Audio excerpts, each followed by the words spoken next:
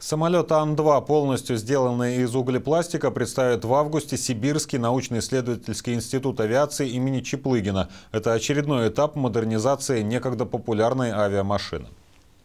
Мы освоили совершенно новую технологию, уникальная. За Уральским хребтом никто не умеет этого делать. Мы надеемся, что после этого а, а, мы вместе с новосибирским э, правительством построим завод в Новосибирской области по строительству легких самолетов.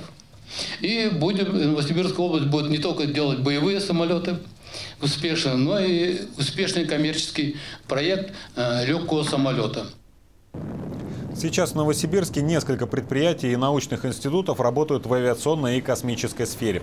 Так, Институт теоретической и прикладной механики разрабатывает программные комплексы мирового уровня и с помощью компьютерного моделирования просчитывает, как будет вести себя космический аппарат при взлете или торможении в атмосфере.